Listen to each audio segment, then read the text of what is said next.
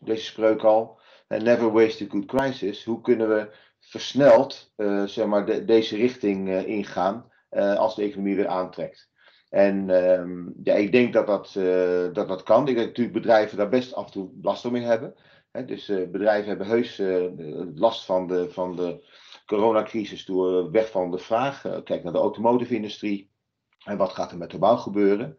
Maar ik denk dat het heel belangrijk is dat we samen, dat betekent overheid en bedrijfsleven, groot, uh, klein, kennisinstellingen, daar inderdaad extra uh, versnelling in brengen in dit gebied. En dan praat je zowel op onderzoeksprogramma's. Nou, ook dat was mooi in, in, gang gezet al hè, met de meerjaren investeringsprogramma's en met de mooicalls, om daar vol aan mee te doen. Maar ook in het groeifonds, om extra uh, stimulans te geven in, op dit vlak.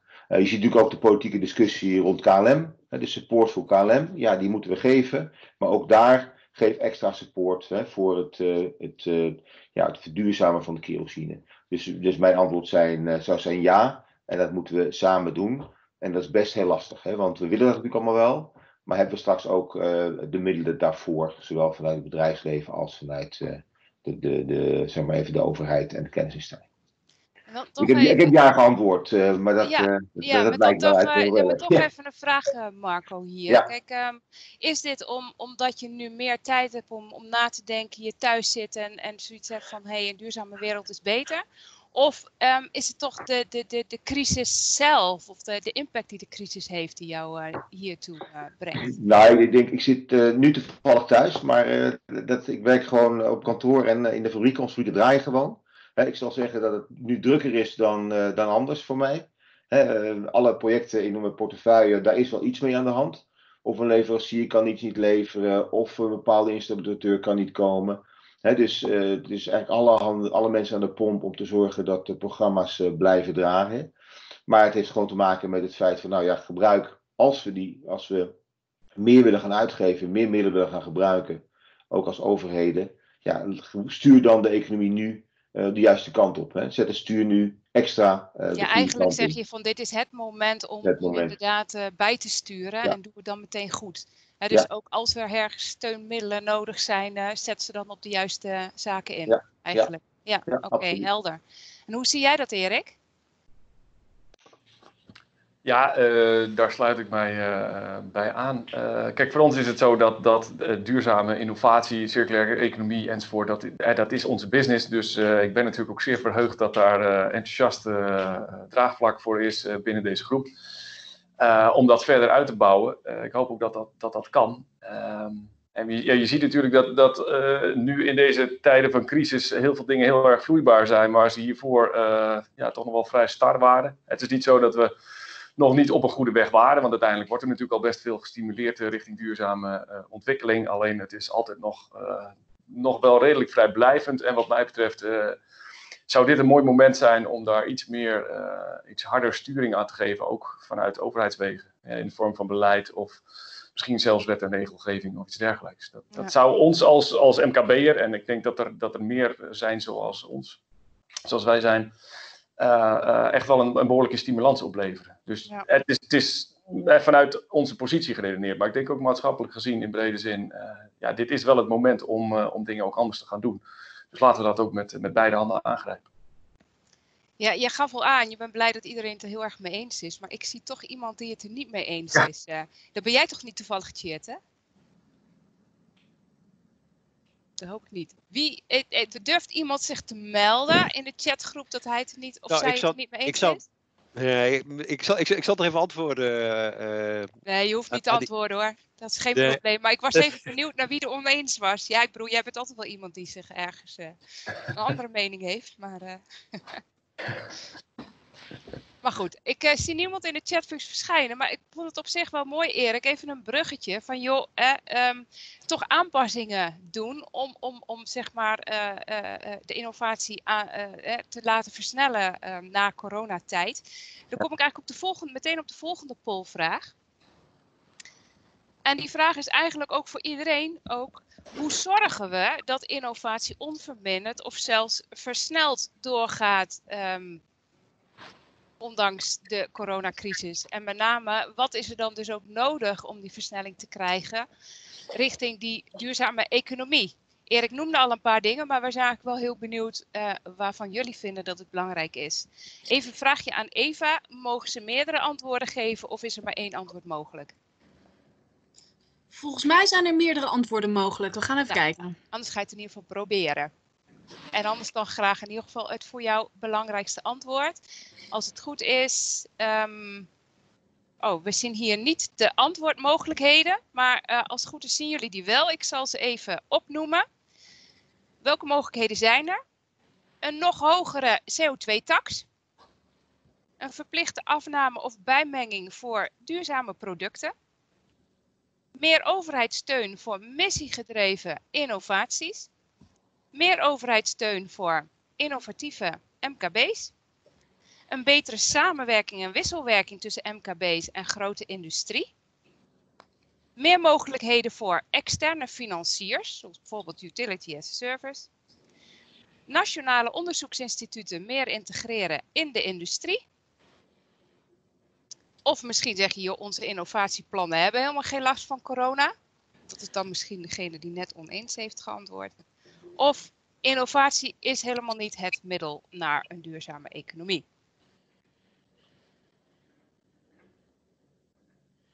Nou, ik neem aan dat iedereen de, in ieder geval inmiddels de QR-code heeft gevonden. Dus ik uh, zie graag uh, uh, de resultaten verschijnen, Eva.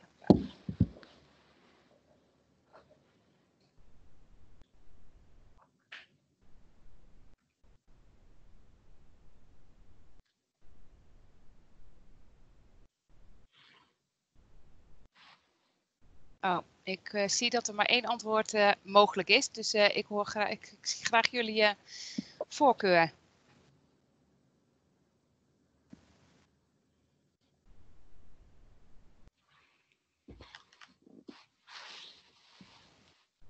Nou, dit is, is, een mooie verdeling. Ik ben wel heel blij dat I en J niet zijn beantwoord, overigens. Zou je hem nog één keer willen verversen, Eva?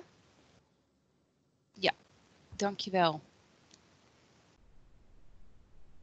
Tjeerd,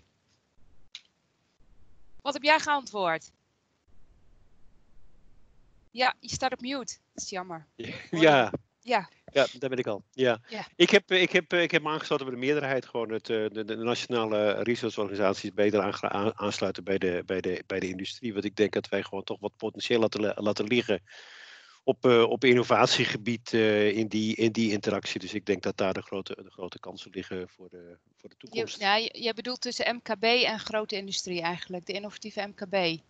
Of heb je de Nationale Research Organisatie gekozen? Ik kan het niet heel goed zien. Ik zal, ik zal mijn bril er even bij opzetten. Welke, welke, welke, ja, welke kleurtjes nu we beter ja. samen... Uh, ik heb de G gedaan. Ah, ja, dat is niet de meerderheid.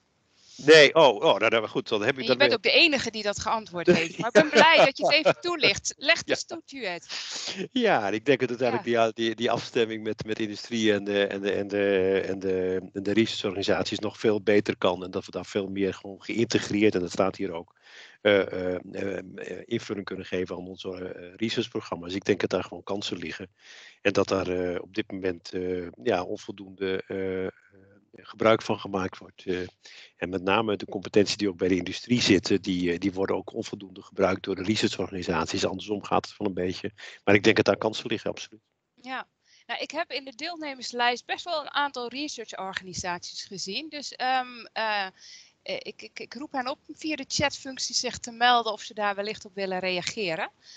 tot die tijd ga ik even naar mijn andere panelleden. Erik, wat heb jij geantwoord?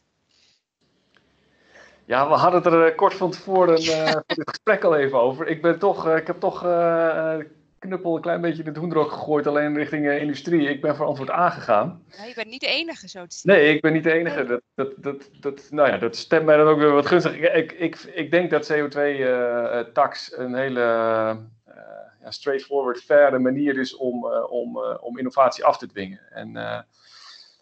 Um, en dat dat een goed middel is. Ik snap ook gewoon natuurlijk dat dat, dat, dat uh, voor sommige bedrijven uh, de concurrentiepositie, zeker internationaal gezien, best wel onder druk kan zetten. En dat dat, uh, ja, dat, dat een lastige keuze is. Maar het is wel eentje die ons dwingt om echt in te zetten op, op effectieve innovaties als het CO2 gerelateerd is of emissie gerelateerd is. En ik, ja, ik ben daar toch wel van overtuigd dat dat een goede weg is om, om te bewandelen. En ja, dat zal schade opleveren aan, uh, aan enkele sectoren. Uh, maar het kan ook hele grote kansen bieden richting uh, nieuwe innovaties, nieuwe toepassingen, nieuwe producten, nieuwe productmarktcombinaties. En daar zouden we denk ik als, als, als economie ook onszelf sterker kunnen gaan positioneren. Met daarmee ook een langere termijn economische positieversterking. En jij denkt mag eigenlijk ook Mag ik er even op reageren? Mag ik erop reageren, Anita? Hallo Tjeerd, ja. Ja, ja, maar daar wil ik toch wel heel even op reageren. Want dit zijn allemaal van die financiële prikkels. En uh, op dit moment staat de olieprijs ongeveer op, nou wat is het, 18, 19 euro, uh, 20 euro per, per, per, of dollar per vat. En dat betekent dat bijna geen enkele uh, duurzame optie nu nog economisch feasible is. Dus die druk je allemaal gewoon integraal weg. En het is zo'n grote impact dat bijna alle bedrijven nu gewoon bijna hun investeringen aan terugtrekken zijn. Of er nog wel of niet een hogere CO2-tax komt, wat echt marginaal is in de totale kosten van die implementatie. Uh, maakt hun eigenlijk helemaal geen donder uit. Dus ik vraag mij af of die hogere CO2-tax, zeker in de, in, de, in, de, in de huidige constellatie, nog wel de juiste, juiste methodiek is om dit soort dingen te doen. Dus ik denk uiteindelijk dat het uit de kracht van de innovatie zou moeten komen. Veel meer dan vanuit uh, financiële prikkels. Want die financiële prikkels van, van, van, van dit soort fluctuerende olieprijzen, die hebben veel grotere impact dan, dan welke CO2-tax dan ook. Ik Mag ik daar ook even op reageren? Ja. Oh, ja. Ja, ik, even, even nuanceren wat Chet zegt. Dat alle bedrijven nu hun, uh, hun uh, investeringen terugtrekken, dat is, dat is niet zo. Natuurlijk is het zo dat, uh, zoals iedereen ook thuis, hè, dat je even goed gaat nadenken wanneer je wat gaat, gaat investeren. Hè, dus dus maar dat je daar goed over nadenkt en wat voorzichtiger wordt, dat is helder.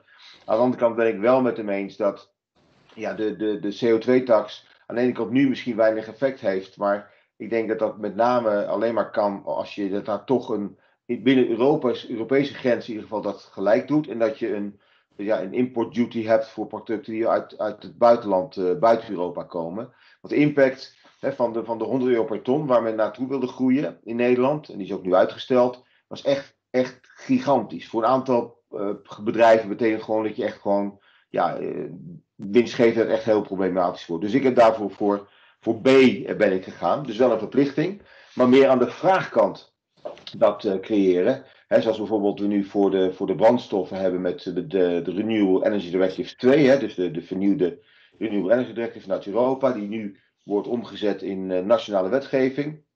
Die is denk ik um, aan de vraagkant stimuleren, is denk ik een, ook voor, die heeft ook minder problemen wat betreft um, internationale competitiveness van, van de industrie in Nederland en heeft ook uh, minder problemen met, uh, met de, de, de, grote swings in de olieprijzen, die dan wel of niet een effect hebben met, uh, met CO2. Dus daar ben ik voor gegaan. Ik vond het trouwens interessant dat E zo hoog scoort. Hè? Dus dat is het verbeteren samenwerking en wisselwerking tussen ja, MKB en grote industrie. Dat is ook wel een bijzonder, want volgens mij, Marco, zoeken jullie ook expliciete samenwerking met um, de innovatieve ja. MKB's en, en start-up ja. op ja. hebben in jullie Open Innovation Space. Ik had eigenlijk gedacht dat jij juist voor E zou kiezen. Nee, Waarom ik denk toch dat, niet? Nou, E, e is denk ik niet zozeer het probleem. Ik denk dat we dat daar, daar heel goed gaan. Wat belangrijk is, dat we zorgen dat de start-up bedrijven en MKB-bedrijven in deze fase ook goed ondersteund wordt. In eerste instantie is dat natuurlijk nu heel mooi met die regeling van 100 miljoen. Die we met InvestNL en met um, zeg maar, um, TechLeap hè, met de overheid hebben overeengekomen dat die 100 miljoen via de regionale ontwikkelingsmaatschappijen naar, uh, als leningen naar startups kunnen. Dus dat is denk ik heel belangrijk. Maar wij zullen blijven samenwerken met startups. En ik, daar zie ik niet zozeer. Het is heel belangrijk, maar ik denk het, het um, daar zit niet denk ik het probleem. Vanuit mijn perspectief en mijn bedrijf, ja. uh, zeg maar. Hey, en, dus als jij nou een tweede antwoord had mogen geven, had je dan voor D gekozen? Nee, ik had dan gegaan voor, voor D, ja klopt. Je hebt nog ja, gelijk. meer overheidssteun. Ja, want ja, die heeft uiteindelijk maar één antwoord. En, en, ook C, en ook C heb ik. Ik had eigenlijk voor B, C en D gegaan. Ja. B, C en D. Ja, dat is dan heel jammer. Ja, Eva, kunnen we deze poll, weet je, ik weet niet of je hem kan opslaan, kunnen we hem dan niet nog een keer doen? En vraag iedereen even om hun tweede antwoord te geven. Ben ik eigenlijk wel benieuwd naar. Eh, ja, dat kan wel. Uh, geef je wel een grote uitdaging, geef ik toe. Nou, het kost me eventjes, eh, geef me eventjes twee minuten ik, daarvoor. Ik geef, jou, ik geef jou de tijd, ja? Dat ja. vind ik helemaal prima. Dan gaan wij gewoon even, even door. Hey, um, op basis van wat jij nu van Erik en, uh, en Marco hebt gehoord, um, dat nu nee, iets anders inzicht? Uh, ja, mijn inzicht wordt altijd elke keer gescherpt als ik met wijze mannen mag, mag, mag praten. Dus in die zin uh, vind ik dat gewoon heerlijk. Overigens, mannen, in dit geval man, als man-vrouw bedoeld, dus dat, uh, dat, dat, dat vooropgesteld. Nee, het is, het is, het is een complex samenstel van, van allerlei componenten die, die, die, die, die het wel of niet mogelijk maken om die duurzame slag te maken. En het is ongelooflijk ingewikkeld om wat te doen.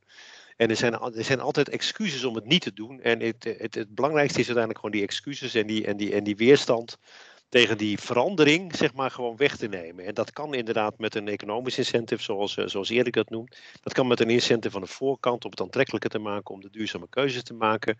En die dingen hebben we allemaal tegelijkertijd nodig. En, maar we hebben ook gewoon nodig dat we gewoon veilige technologie bouwen die, uh, die, die door bedrijven vertrouwd wordt en die ze op durven investeren.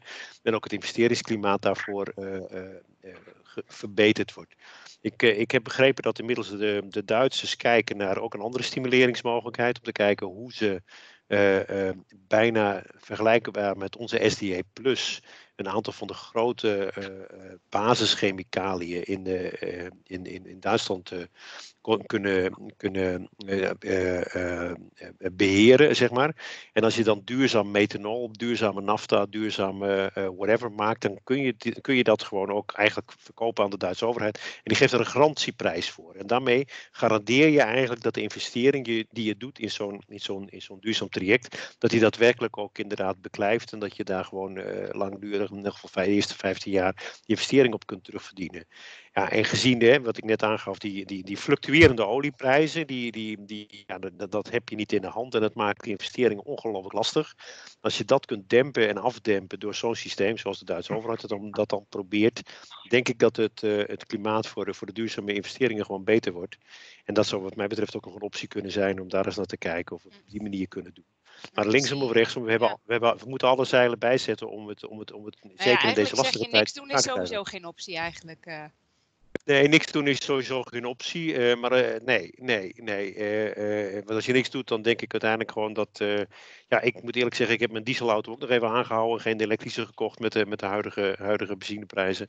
Dus het is het uiteindelijk gewoon. Er zijn ook wel dit soort dingen die, die, die moeten op een of andere manier toch, toch in het collectief afgedwongen ja. worden.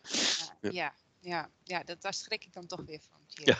Ja. Nou, qua CO2-prijzen, CO2-uitstoot is dat natuurlijk om diesel nog steeds uitermate gunstig. Maar uh, Ja, ik denk ja. niet dat we die discussie op dit moment aan moeten gaan. Het, het zal, ja. Nou ja, goed, kijken naar de overheid die natuurlijk ook zich behoorlijk in de schulden jaagt op dit moment, is een verhoging van de CO2-tax en een verplichting wellicht nog eh, het meest goedkope, zeg maar, om, eh, om te kiezen.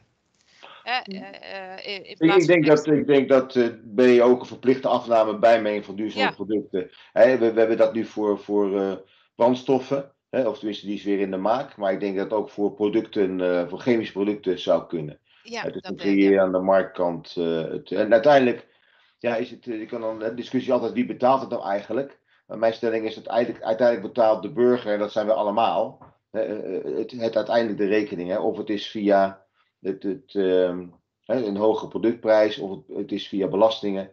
Ja, maar uiteindelijk is het, eh, of, eh, ja, wordt het altijd in de, uiteindelijk eh, de productkosten worden bij, de, bij de klant uiteindelijk neergelegd. Ja. Ja, dus dat is het, welke oplossing je ook Dat kiest. En dan ga ik meer voor, een- voor, een, voor een B-oplossing. Overigens is het natuurlijk ook zo dat de overheid natuurlijk heel veel baat heeft ook bij een goed draaiende economie, omdat het daarmee natuurlijk belasting terugkomen, inkomsten zijn en geen werklozen die juist geld kosten. Nou, Mag ik daar nog iets aan hebben, toevoegen, Anita? eh, wie zei dat? Eh, Erik? Ja, hoi Erik. Ja, Ja, sorry, ja. je bent heel klein onder in beeld. Maar Ach. eh, mijn camera hangt erboven, dus ik kan je Ja. niet altijd goed aankijken. Ja. Nee, nee. Nee, maar wat ik nog even wil toevoegen. Eh, Mathieu had natuurlijk wel een terecht punt over de, de olieprijzen. En dat is natuurlijk, eh, eh, ja, je moet dat ook in verhouding zien. En eh, dat heeft natuurlijk gigantische impact. En we hebben het nu in de polls en in onze vraagstelling ook over, ja, moeten we niet meer inzetten op duurzame ontwikkeling ten opzichte van wat er was? Um, maar misschien moeten we het nog wel een tandje sterker aanzetten, om, omdat juist die olieprijs nu zo onder druk staat en, en er zelfs negatieve prijzen zijn.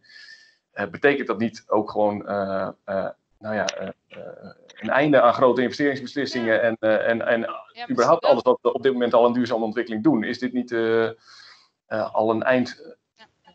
moeten we niet nog veel harder uit, uit de startblokken komen na deze? moeten we juist heel trots zijn dat die prijs zo laag is, want dat is dankzij ons, omdat we inzetten op duurzaamheid. Ja, dat kun je ook nog zeggen, ja. ja.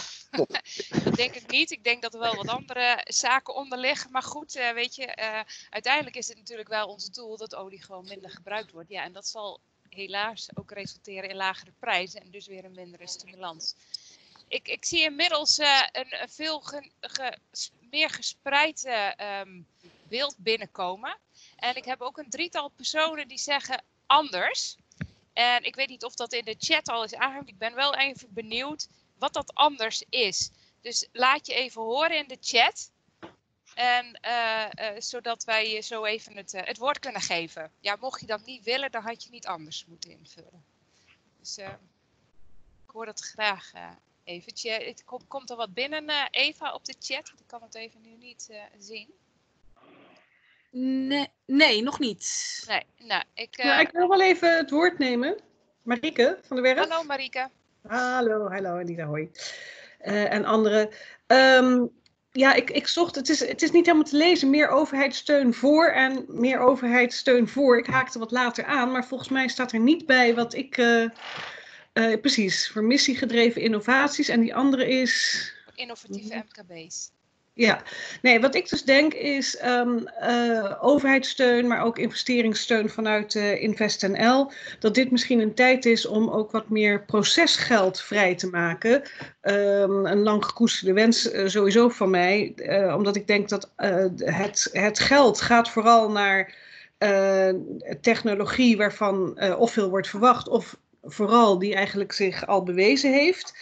Um, maar uh, procesgeld om uh, te scouten, om dingen bij elkaar te brengen en om ook vanuit een visie van waar zijn we nou in Nederland sterk in, wat, wat, wat kunnen we doen, waar is behoefte aan in de industrie. Nou ja, het gezelschap dat al deelneemt aan, uh, aan deze sessie zou, zou daarin de overheid of investeerders al kunnen ehm, adviseren. En dat proces geldt voor bijeenkomst, voor het bij elkaar brengen van die ideeën en een visie te ontwikkelen. Dat is iets wat je volgens mij in deze coronatijd nou juist goed zou kunnen doen. Dus vandaar mijn antwoord anders. Dankjewel Marike. Dan ben ik heel benieuwd, Chet, wat jij daarop te antwoorden hebt. Nou, ik, ik, geloof dat Andreas in, in de chat uh, al voor of voor het ISPT ah. geantwoord heeft. Uh, er in de, inderdaad eens, er is geen ruimte voor organiserend oh, vermogen. Ja. Terwijl dat cruciaal is om slimme keuzes te maken. Uh, en dat, dat ben ik het hardgrondig mee eens. En ik zag ook de, de, de anders van, van Wouter van Gerven. Die zei van we moeten kijken naar hoeveel van onze. Nee, ik, ik, misschien moet Wouter het zelf even uitleggen. Maar wat ik, wat ja, ik lees Walter. is in elk geval. Ja. Walter, ben je er? En kun je even unmuten?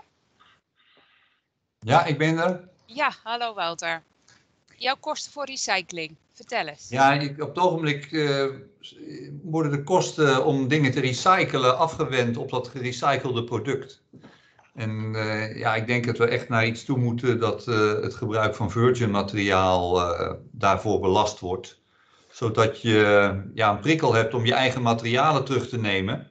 En uh, ja, op het moment dat je wil groeien, oké, dan uh, gaat het ook goed met je. Dus dan kun je wat extra uh, virgin materiaal in de loop brengen. Dus dat, dat wilde ik als anders graag toevoegen.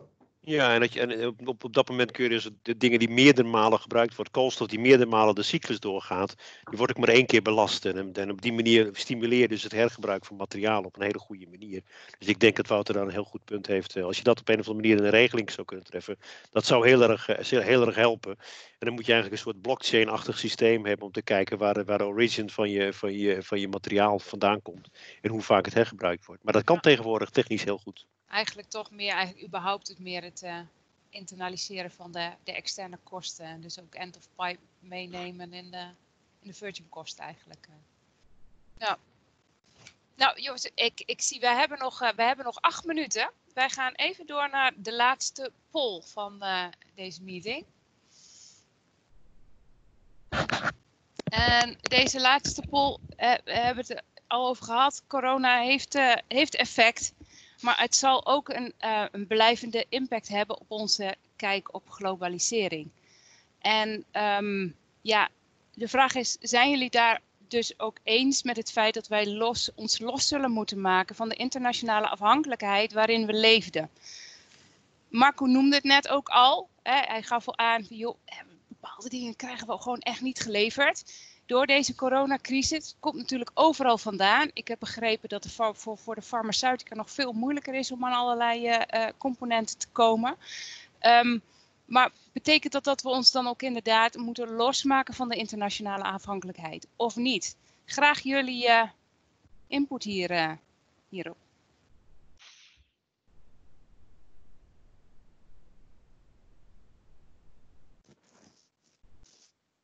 Ja, de balans ligt nu nog eens. Voor de mensen die het eens zijn, uh, wat meer stemmen, denk ik. ik ben ondertussen eigenlijk wel even benieuwd, uh, Marco. Um, hè, jij, gaf het, uh, jij gaf het ook al aan. Hè? Die globale afhankelijkheid is, is wel een issue. Maar hoe wou je dat dan inderdaad doen? Als we ons hier los van willen maken, hoe dan? Nou, ik wil niet zeggen dat we daar ons los van moeten maken. Ik denk, we moeten niet te schieten in een soort protectionistische zeg maar, kramp. Hè? Je had dus eigenlijk nog een antwoord C willen hebben. Jijn. Ja. Ja, ik, ik denk dat, uh, dat we. We zien nu dat we heel afhankelijk zijn. En wat ik net gaf, uh, en met name bij innovatieprogramma's zie je ook dat je de onderdelen uit verschillende plekken van de wereld haalt. Het is zelfs nu dat je ook installateurs die kunnen, kunnen niet uh, binnenkomen, hè, of die moeten eerst in quarantaine. Dus qua timing zit je even verkeerd, qua laboratoria. Die zijn dicht of gedeeltelijk dicht. Um, dus mijn, mijn antwoord was meer ook gericht op innovatieprojecten en het implementeren daarvan. Um, maar ja, het is, het is duidelijk dat de hele globale supply chain, dat daar naar gekeken moet worden. En nogmaals, het moet niet protectionistisch worden, uh, maar wel eens goed nadenken als Europa, als Nederland, maar ook in de wereld, ja, hoe we dit willen, willen, willen, willen hebben. Kijk, we hebben natuurlijk, zijn deze kant op gegaan, uiteindelijk omdat de consumenten hè, goedkopere en, producten wilden. Hè? Dus, dus dat is, en daar ben ik wel heel benieuwd naar. Daarom denk ik dat die 50-50 helemaal niet zo verkeerd is. Uh, dat zeg maar, op de korte termijn uh, zullen mensen hier heel erg uh, mee bewust, over bewust zijn. En geeft ook kansen voor bepaalde landen om hier heel goed op in te spelen. Voor Nederland bijvoorbeeld. Als we nu echt behoorlijk op inzetten op een nieuwe economie, hebben we een kans dat we daar, dat we daar een positief ja, iets, iets wegleggen uit het halen. Op de lange termijn vraag ik wel af, hè, als deze crisis weer voorbij is en er toch men weer in de portemonnee gaat kijken, wat dan uiteindelijk het, het resultaat zal zijn over een aantal jaar. Maar ik denk op de korte termijn dat, uh, en dat het ook goed is, dat we heel goed gaan kijken naar die afhankelijkheid en hoe kunnen we die eventueel uh, ja, verminderen. Ja, hey, en nu heb je het natuurlijk over de supply chain. Je hebt over goederen die getransporteerd moeten worden. Maar als ik het nou heb over innovatie, kennis en expertise. Of, of de technologie zelf, zeg maar. Hoe vind je um, dat we dat dan ook allemaal uit Nederland moeten halen? Of, uh, nee, nee, daar, daarom zeg ik ook, hè, wees niet ja. uh, protectionistisch. Ik denk, dat op zich gaat dat nog door. Hè, via, via deze hè, teamsachtige meetings. Ik heb nog uh, bijna elke dag meetings met, met Canada. Hè, en met een leverancier daar. Dus dat gaat eigenlijk prima. Hè. Je ziet dat de bestaande relaties die je heel goed kan onderhouden uh, en misschien wel efficiënter uh, met, ja. met teams. Het bouwen van nieuwe relaties is, is lastiger hè, via, via de, de IT-achtige tools.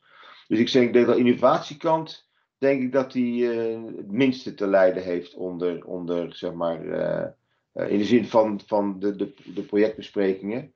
Um, ik denk dat de hele waardeketens dat daar goed gekeken gaat worden. Ik denk dat alle bedrijven kijken van nou, hè, het één punt is, we zijn heel, heel vaak naar, uh, naar één fabriek gegaan in de wereld hè, voor bepaalde onderdelen. Nou ja, is dat, hè, is dat ja, nou is wel het, juiste, ja. het juiste ja. standaard? Is dat nou verstandig? En dat geeft weer voor de verschillende regi regio's weer kansen, denk ik. Ik kan me voorstellen. Tjeerd, ik ben wel even benieuwd naar jouw uh, Mijn antwoord, mijn antwoord was uiteraard oneens, want wij, wij, het virus is ook al, is ook al een pandemie, hè? dus we, we leven nog niet in Nederland alleen. We, ja, en en dat, dat we proberen gewoon die clustertjes nu wat kleiner te maken om het virus met wat minder te laten verspreiden, lijkt me evident. Maar het is, het, het is, het, het, het is onmogelijk, denk ik, om die internationalisering gewoon, uh, gewoon terug te draaien of om, om te draaien naar nationalistische dingen. Dat moeten we zeker niet doen. Uh, het is natuurlijk wel zo dat een uh, ja, wat, wat meer zelfvoorzienendheid hier en daar misschien wel handig is. We hebben dat na de Tweede Wereldoorlog in de agrofoodketen natuurlijk ongelooflijk gedaan met een enorme, enorme boost in de, in de, in de, in de zelfvoorzienendheid van Nederland door, door echt een enorme productiestijging in de landbouw. Dat, uh, dat, daar, hebben we nog, daar plukken we nog steeds de vruchten van. Dus hier en daar gewoon wat meer en wat trotser uh, op onszelf zijn, heeft ook wel wat voordelen. Maar ik ben zeker oneens dat we, dat we die internationaliteit uh, en die, die, internationale afhankelijkheid zomaar zouden moeten of kunnen loslaten. En ik denk ook bepaalde bedrijven zijn ook gewoon. zijn uh, sorry, ik werd even gestoord. ja, dat nee, krijg je met Teams. Ja, dan krijg je met Teams, ja. In sommige bedrijven krijg je... Ja, ja, ik ben, ik ben even de draad kwijt. Ja, uh, maakt niet uit. Weet je, ik zag even een mooie uh, opmerking. Hans Wildink in de, in, in, in de Teams meeting. Um, Hans, ben jij aanwezig en kun je even unmuten en jouw toelichting geven? Ja, ik, ik denk dat volgens mij is het. Ik heb over gezegd uh, eens. Uh, dat klopt. Uh, Tjert en ik zijn het vaak oneens. Dus als hij het echt oneens is, dan zeg ik eens.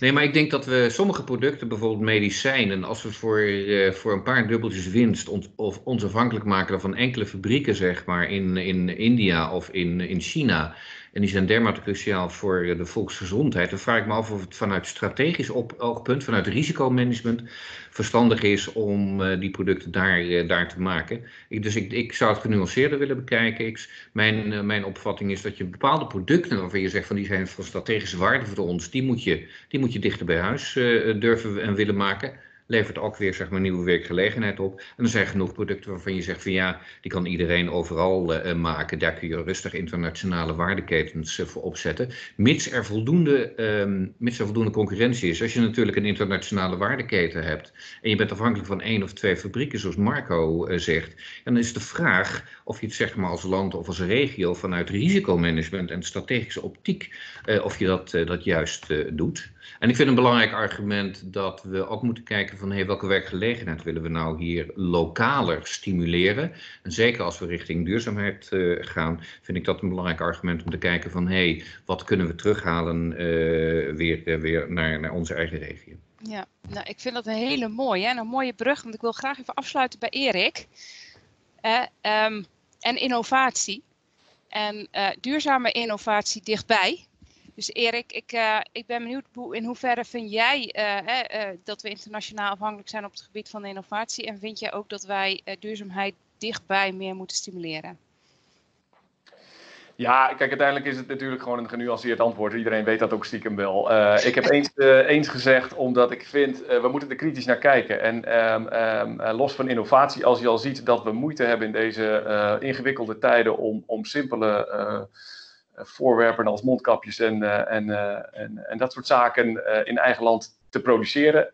Ja, daar moeten we onszelf nog wel eens even achter de oren krabben of we dan wel goed bezig zijn. Dat zijn, dat werd net ook aangehaald, dat zijn in feite zaken waar we eigenlijk geen risico op zouden moeten willen lopen.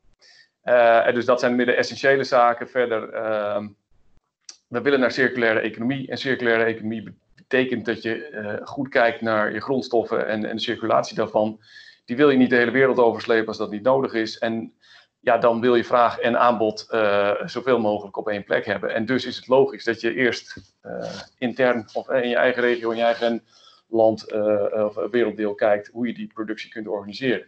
En natuurlijk sluit je daarmee de grenzen niet, maar je kijkt wel, denk ik, op een andere manier naar of dat meer regionaal te organiseren is. Dus dat zou een uitgangspunt moeten zijn. En daarmee is nou, absoluut niks op slot, zeker in, in, in, in kennisuitwisseling niet. Ik denk dat dat echt uh, veel te ver zou gaan en dat dat ook niet wenselijk is. Maar op het gebied van grondstoffen, dat je daar wel degelijk uh, kritisch naar moet kijken en dat daar ook wel uh, mogelijkheden liggen. Juist ja, vanuit circulaire economie gedacht om dat te stimuleren. Dat, dat, daar zou dit een mooi moment voor zijn. Ook. Dus eigenlijk een duurzame circulaire economie, maar maakt de cirkels niet al te groot en niet al te globaal eigenlijk. Ja, Ja, Helemaal. nou, ik vind het prachtig. Weet je, ehm, wij zijn eigenlijk aan het einde gekomen hiervan. Ehm, dus ik wil jullie sowieso hartelijk danken, maar ook niet even, zo, sowieso natuurlijk niet eh, voordat ik de panelleden even heel hartelijk heb bedankt. Maar ook de mensen om eh, eh, te, mm, eh, te reageren op de, op de polls. Ehm, ik zou jullie in ieder geval willen vragen, geef via de chat even aan jullie feedback op dit gesprek. En hebben jullie onderwerpen die jullie graag in een volgend industrie in gesprek aan de orde zouden willen laten komen? Laat dat ook even achter in de chat. Dus hang niet meteen op. Geef nog even je feedback. En eh, ja, in een volgend gesprek gaan we daar graag opnieuw eh, op in. Dus eh, ik dank jullie hartelijk. En ehm, ja, ik hoop dat we met z'n allen wat kunnen doen aan in ieder geval de voorgestelde maatregelen. Om innovatie onverminderd door te laten gaan richting een duurzame circulaire economie. Dankjewel. Ik zwaai even. Ja, en jij ook bedankt Anita. Hartstikke goed gedaan. Ja, dankjewel. Ja. Is goed. Tot ziens. Tot ziens. Tot ziens. Tot ziens.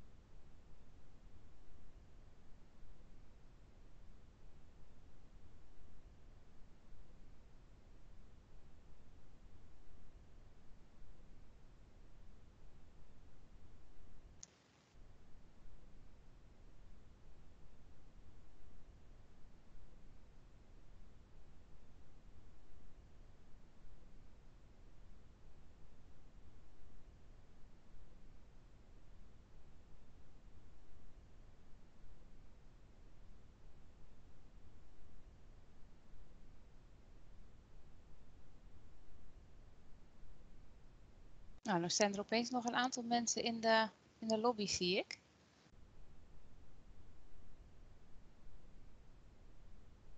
Marinka, ben jij er nog? Marinka staat op mute. Ik ben er nog, maar ik sta met eh, mijn goede reden op de mute. Ja, is goed. Wacht even. Oh, Eva die eh, nodigt ons nu op een andere manier uit. Ik ga er even uit.